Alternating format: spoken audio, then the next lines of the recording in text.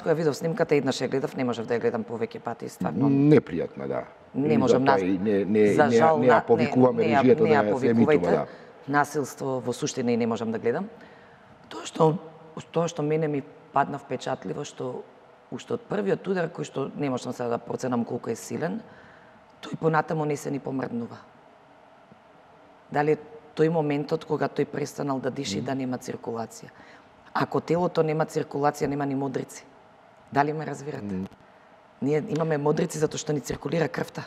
А ако стои крвта, зашто би имале модрици? Така, а можно сега да кажете да е удар кој веднаш го Со оглед на тоа колку каква беше компјутерската томографија на мозокот, веројатно многу долго траело недостатокот на кислород и циркулација. Ја не можам да одредам во кој време, стварно судска медицина и за нас ќе биде лесно ако ни ги разјасни овие дилеми кои што ги имавме и додека траеше краткотрајното лекување негово за жал.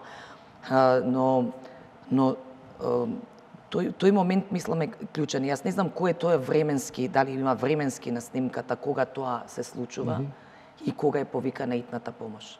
Колку колку трае таа според МВР во Е тоа него